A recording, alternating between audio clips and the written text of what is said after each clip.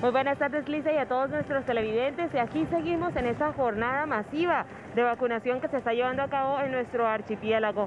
Y bien, el día de ayer la afluencia fue bastante, en donde se logró vacunar a más de 7 mil personas aquí, justamente en el auditorio del Hotel Isleño.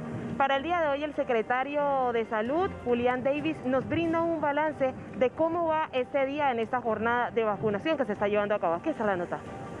El día de hoy eh, la afluencia ha sido un poco menor, pero también hay que entender eh, que toda la comunidad se, pues, se volcó desde las 2 de la mañana el día anterior pensando o con una falsa expectativa que iba a haber aglomeración, que iba a ser un proceso lento y fluyó muy rápido. Entonces al entender eso, pues la gente está llegando eh, graneadita, por, decirlo de alguna manera, y está asistiendo en la primera hora del día de hoy, de 7 a 8 de la mañana, hasta alcanzar a colocar 564 dosis. Estamos invitando a toda la comunidad de no dejar eh, para última hora eh, esta oportunidad de avanzar con esta vacuna.